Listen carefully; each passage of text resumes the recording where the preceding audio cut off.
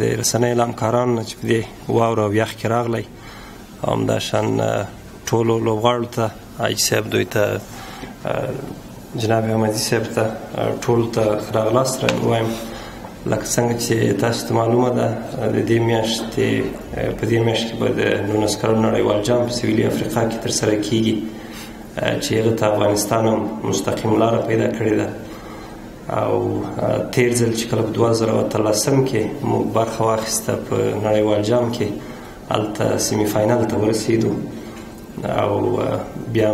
د ته مستقیم لار پیدا کړه از د 19 کلونو د اوسنۍ کوم ټیم چې دی له تیر یو کال را پدې خو په دوی باندې کار کیږي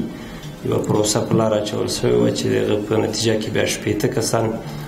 انتخاب شوی او بل اخر دا بیا شلو ته 25 ته راکوسول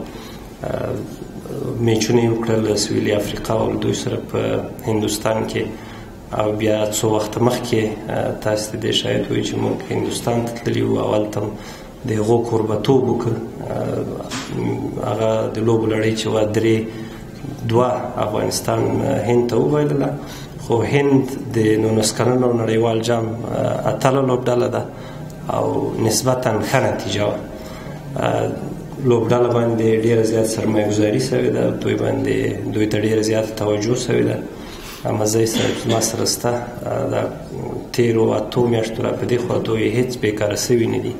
په کابل کې دوی ته کمپونه پلار واچول سول همداسې د هند سره د کومې سیالۍ چې وي دا زموږ په کلني پروګرام کې هم نه وي خو موږ دا مناسب وبلله چې د دوی ښه تیاری وسي دا لوبې هلته په لکنو کې په لار واچول شوې او بالاخره بیا دغه نه وروسته د نړیوال جام لوبډله انتخاب شوه او له دوی نه ډېر زیات امیدونه دي انشاءالله دوی به ښه لوبه کوي او کوم غوره لوبغاړي چې د سلیکشن کمیټې هغه انتخاب کړي دي یو انتخاب چې په هغه کې باید ذکر کو هغه ابراهیم زدران دی چې هغه لوبډل تر اوسه چې هغه بیټینګ زموږ توپوهنه چې دا غیر څه پیاوړی کی او همداسې لوبډل په ترکیب کې ډیر ښه لوبغاړي دي په شپږیزه کې ځلیدلی وو نور احمد اسف مزازی همداسې عمران میر هم لوبډل تر راغلی دی نو هیله ده چې دوی به ښه ولوبېږي په ګروپ کې د افغانستان سره ساوت افریقا کاناډا او یو ای دی ساوت افریقا به طبعا یو څه سخت دی د غوسره لوبه خو هغه دوه نور لوبډلې چې دي نسبتا دومره ډېرې پیاوړې نه دي نو هیله بدای چې زموږ لوبډله د اتو غورو پړاو ته یا کوارټر فاینل ته لار پیدا کړي رئیس احمد زای د هډ کوچ په توګه ورسره ځي او همداسې په زموږ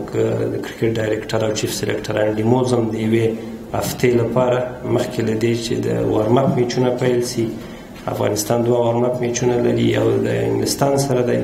او یو له هندوستان سره دی هغه به هم د یوې هفتې لپاره سره یو ځای کیږي او هیله به دا وي چې لوبډله ښه وځلېږي او افغانستان ته بېرته له افتخاراتو سره راسي مننه بسم الله الرحمن الرحیم د مطبوعاتو ټول نه مننه سیو صاحب تاسو نه مننه ټول ملګرو نه لوبغاړو نه سیو صاحب پرم تفصیل باندې خبرې وکړول خو کرکټ بورډ نه منګه مننه کوو چې د دوی هاري او هغه هغه د ټیم د ضرورت غوښتنه چې و دوی ورته لبیک ویلې ده او لکه مخکې چې دوی ویلې تقریبا دغه تیر یو کال نه په دغه لوبډله باندې موږ کار کړی دا او ان شاء الله د یو روزون کې په صفت باندې زه دا ویلې شم چې د سې کوم یو ستونزه منوي چی هغه بیا په اخر کې موږ دغه بهانه جوړ کړو چې ولا دغه ځای دی موږ کمو نو ار اړخ نه موږ پورا پورا د جام جهانی لپاره تیاری کړی دا ان شاء الله په لوبغاړو باندې زه پورا ډاډمن یم د سیوس په باندې دغه یو شي کې به یو دغه دی ګروپ خبره چې وکړو دوی مشران دي په دغه ورلډ کپ کې چې څومره ټیمونه دي ټول پیاوړي ټیمونه دي یعنی هیڅ یو ټیم ته موږ په کومه سترګه باندې نه ګورو د سویل د جنوب افریقا ټیم دا او کاناډا دا او یو ای دا نو لومړی کوشش په دې موږ دغه چې په دغه لومړی پړاو کې یعنی په ګروپ کې موږ لومړی مقام تر لاسه کو نو پورا پورا تیاری مرتګړه دا ان شاء الله که خدای کول ډک لاس به بیرته راځو ان شاء الله موږ خو تقریبا د یو کال نه ښه پوره پوره پریپریشن تیاری کړې ده کیمپونه مو کړل دلته موږ مسلسل دوه هفتې په کور نه پاتې شوي نو موږ خو پوره تیاری کړې ده انډیا سره موږ سیریز وکړو ایشیا کپ کې ښې لوبې ترسره کړو او هغه نه مخکې موږ ساوت افریقې سره سیریز وکړو موږ ښه پوره تیاری کړی دا او ان شاء الله موږ به کوشش کوو چې ښې لوبې تر سره کوو دې نه اوس اوس په سبا دیم تاریخ نه هلته زمونږ تر نهمه پورې د سی بي طرف نه کیم شروع کی نه ورځ کیم د سی بي طرف نه دی او بیا لسم نه تر شپاړسمه پورې مونږ ای سی سی د ای سی سی طرف نه کیم لرو دې کې درې لوبې مونږ لرو بنگله دیش سره او انډیا او انګلند سره نو مونږ خو د هر لحاظ نه منټلی او ښه پریکټیکلی هر څه ښه پوره پوره تیاریم کړی ان شاء الله کوشش وکړو چې ښې لوبې تر سره کړو